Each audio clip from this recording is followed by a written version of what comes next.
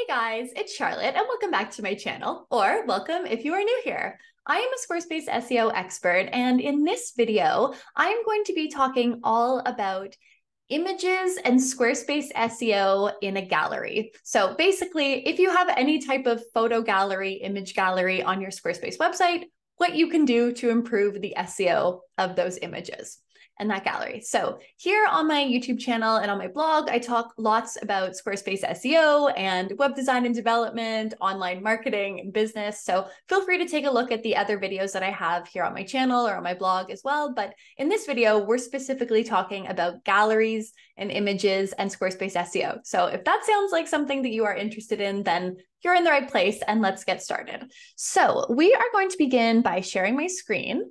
And before we take a look at the actual images and go through everything on the back end of a website, I wanted to remind you that I have a free Squarespace SEO checklist that you can download. And I'm going to leave the link to that just down below and you can grab it. It has been downloaded by like thousands and thousands of people. So you're an excellent company with this year. And whether you are an absolute beginner learning about Squarespace SEO for the first time, or maybe you've like dabbled a little bit, but you want to make sure that you haven't forgotten anything or that something has not been left off the list or anything like that. Grab a copy of the Squarespace SEO checklist that I have down here, and I know it will help you out. And yeah, grab a copy, it's free. Okay, now let's take a look at galleries on the back end of a Squarespace website. So just for the sake of simplicity, I'm showing you on a um, on my Squarespace website, and mine is on version 7.0. Um, still, I know. Uh, but if you have your website on 7.1, it it's basically the same process. So, what I want to show you about how a gallery works, let's take a look at this. So, when you have a gallery on your web page, again, this is like really, really, really simple formatting you have the images here, right? And how it works is that when Google is crawling and indexing your page, your web page, your blog post, your product page, whatever it happens to be, they're going to see that you have a gallery that's made up of different images. So when Google lands on this gallery block or function and they see the images, you have to remember that Google can't really like see the images the way that you and I can, right? They can see that it's an image file, but they can't really see the image itself. So they don't really know what the image is. And the only way that they can learn about what the image is, is from the information that you tell them and how you're optimizing the image. So let me show you what I mean by that. You see this image here right now. This is just like a cute little image I found on Unsplash. But look what happens if I right click it and if I click, let's say, like save image as or something, then do you see here? This is the physical file name of the image that opens up. Again, it's all that like unsplash default image info, right? Whereas this is not really, and like I'll just show you again, you know, if I save it kind of thing, then if I open it up, so in the downloads, like here it is, right?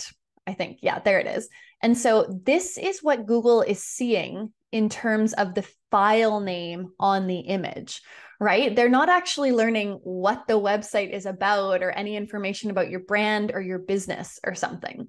So, in order to actually give that information to Google, when it comes to the image in gallery, we need to make sure that all of the file names of the image have been correctly named and optimized. And then we need to upload it and maybe replace the images that exist in the gallery currently with those that have been correctly named. So in this case, let's say, you know, in this example, I'm going to just go like, I don't know, like Charlotte O'Hara, pretend I'm a like interior designer in Seattle or something. And then you're kind of like, what is this image again? Armchair um, in front of coffee table with decorations and bouquet in vase or something, right? So I've got kind of a three part name to the image. And then I would click save. And now what I'm going to do is I'm going to come back to my gallery, right? I'm going to edit the gallery, open it up, edit it, or like open it, right? And now what I'm going to do is I'm going to replace the old image, so delete it. And now I'm going to upload the same image, but just the one with the better name. Okay. Now I'm going to open that, click, let's move it to the beginning. One second. It'll just add here. There we go. Let's move it to the start. I'm going to click apply and save, and I'll refresh. And now look what happens if I refresh this page. Okay. Now I can come back here. Oh my gosh, it's so slow because I'm running all the different programs here. And if now I right click and I click save image as, then wow, look, oh my God, okay, we've got all of that SEO information. It's been correctly named, all of that sort of thing. So, this is what you're going to have to do. Again, I know this is a little bit annoying, but if you want to improve the images SEO, then you do need to rename the physical file name and then upload it again, like replace the existing old image that wasn't named properly and do it that way. And one thing I want to point out here with the images, again, you'll notice when it comes to, oh, hold on here, Squarespace is just, you know, being chaotic here.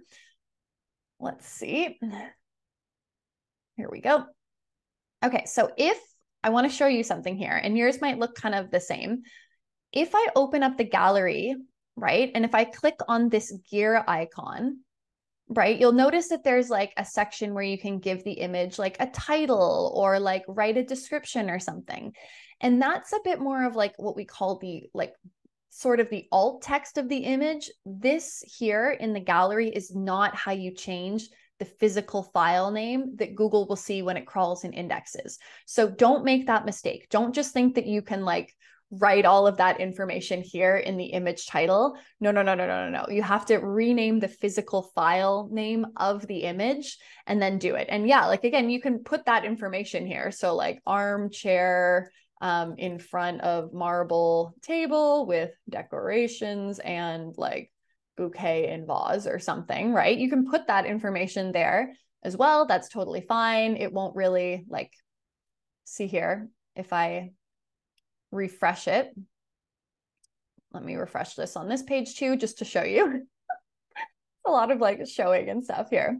But you see, it's not like that information really ended up anywhere on the page right? Like it didn't put it underneath or something. So that's again why you just want to make sure that the physical file name is done correctly with the images in the gallery. And then, you know, feel free to fill out those image names and all that kind of thing. But the main thing to keep in mind with images in the gallery is how you are naming the physical file in the name of the, or the physical file name of the image, and then replacing it in the gallery itself. So I hope that was helpful and I hope that it showed you how to correctly name the images in a gallery on your Squarespace website, what to do, what all those different fields are, and where the kind of like bang for your buck is going to happen from an SEO perspective. So, if you have images on your Squarespace website, I encourage you to go back and make sure that the images, first of all, are correctly named. And if they're not, that's fine. Don't worry about it go and rename the physical file and then replace it on your Squarespace website in the gallery. And then that will make sure that you are at a much better place from an SEO perspective.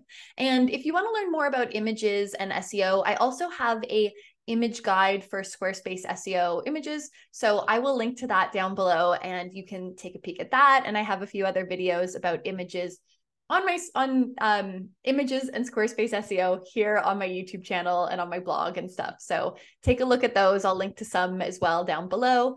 Um, but yeah, that is it for this video. If you liked it, feel free to like the video, leave me a comment, tell me this was helpful or something that you learned. Um, or if you have any ideas for future videos, leave those as a comment as well, and I'll try to get around to making a video for you about it. But that's it for now. Thank you so much for watching this video. I hope it was helpful, and I will see you again soon in the next one. Bye.